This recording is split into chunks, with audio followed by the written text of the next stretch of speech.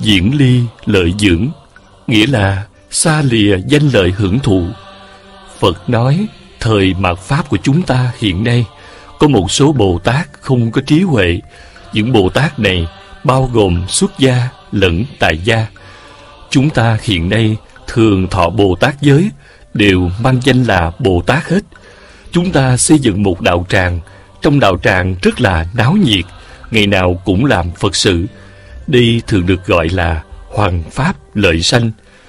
Chúng ta ở đài loan thường nghe đến danh từ mở tiệm phật.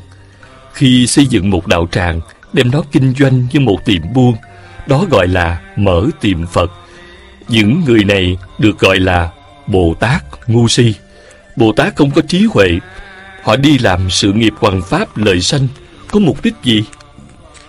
Mục đích là để kiếm lời, kiếm tiền khi tính chúng cúng dường tiền bạc càng ngày càng nhiều, thì họ sanh tâm vui mừng. Nếu không có tiền thì họ không vui. Dùng tâm trạng này mà làm việc. Thậm chí còn đi thuyết pháp. Tất cả đều là lỗi lầm, tất cả đều là đang tạo nghiệp tội. Huống chi còn dùng các thứ thủ đoạn để kéo tất cả thân hữu tín đồ về với mình. Không những vậy, mà còn muốn những vị xuất gia và tại gia phải cung kính cúng dường cho mình, phải tuyệt đối tin tưởng mình. Phật nói những bồ tát cu si này vì tài lợi để thuyết pháp. Nếu không có lợi nhuận, thì họ sẽ sanh tâm nhàm chán, mệt mỏi. Những chỗ nào không lợi nhuận, thì không vừa lòng hợp ý. Họ sẽ thấy rằng những chỗ này không có thú vị và sẽ không đến những chỗ này lần thứ hai nữa. Họ chuyên tâm cầu cúng dường, tìm cầu sự hầu hạ và sự cung kính của người khác làm ra những chuyện quái gở. Người xưa có nói, hòa thượng bất tác quái, cư sĩ bất lai bái.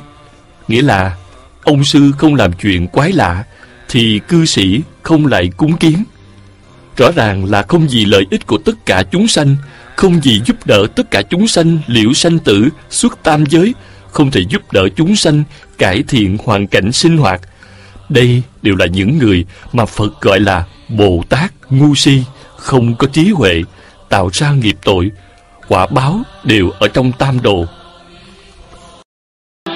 Nguyện cả thảy chúng sinh đều tín niệm di đà, đồng cầu sanh về nước cực lạc. Nguyện đem công đức này trang nghiêm cõi nước phật trên đền bốn ân nặng dưới cứu khổ ba đường nếu có ai thấy nghe đều phát tâm bồ đề, hết một báo thân này, đồng sanh về nước cực lạc. Nam mô a di đà phật.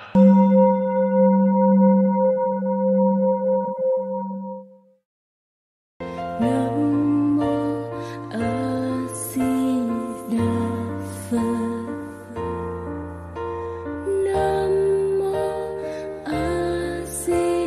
đã phai